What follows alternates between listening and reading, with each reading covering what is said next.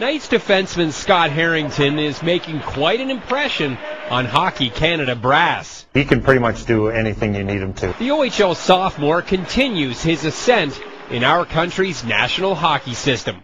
Just being selected for the under 17 uh, team at Christmas for Ontario, that was a, uh, a big privilege, and uh, to move on from there to the under, under 18 team, uh, got kids from all over the country, so uh, you know, it's it's a really big honor. He can be a shutdown defenseman against the other team's best players and uh, take them off their game. He can be on your power play because he moves the puck well. He uh, joins the rush and has great gap going up the ice and creates offensive chances.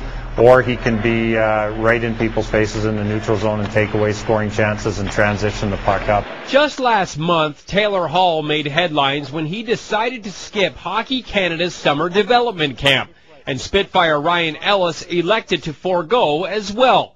While those two have earned the right to take a summer break, younger players like Harrington need to grind it out during these months to A, get ready for their junior year, and B, raise their profile with Hockey Canada. You know, it's the middle of summer. Most guys aren't skating that much right now, so I think it was a big adjustment for everyone going back to, into a game setting in the middle of the summer. But uh, you know, don't try to do too much or uh, something you're not comfortable doing. Uh, the guys uh, made it here by doing what they do best, so I think if uh, just continue doing that, it should be fine. He is no doubt going to be an impact player and a leader on the Knights blue line this upcoming season.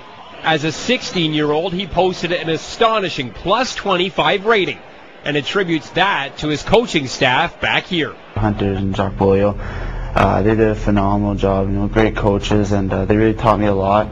And uh, they're definitely uh, a big reason why I'm here today. He's currently projected as a first rounder in the 2011 NHL Draft. And the more exposure he gets to top level competition through venues like this tournament will only raise his level of play in the upcoming OHL season.